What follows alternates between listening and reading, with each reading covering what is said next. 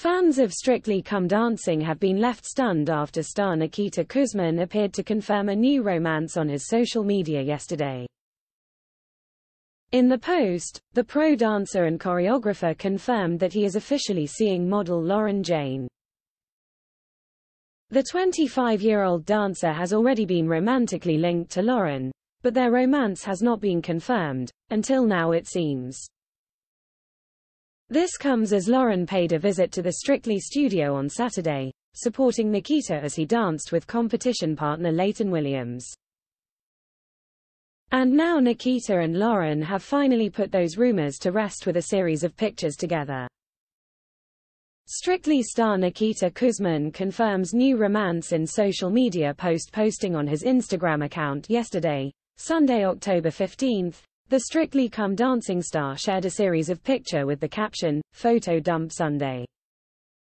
A number of these pictures, and one short video, showed Nikita posing with Lauren. In one pic, Nikita has his arm around Lauren as they take a mirror selfie. A video clip, meanwhile, sees the pair food shopping together. A source told The Sun earlier this month, Nikita and Lauren have been dating for months and seem to have an amazing connection. The pair have tried to keep their romance under the radar, but they have been attending events together and are really enjoying each other's company. Fans gush as Nikita shares new romance online meanwhile, Strictly fans were overjoyed to see Nikita looking all loved up with his new girl.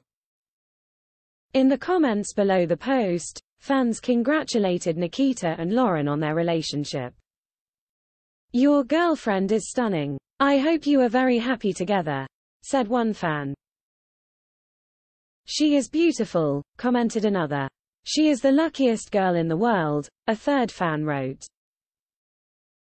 Ah Nikita, so lovely to see you happy with your beautiful girlfriend. So glad for you, another said.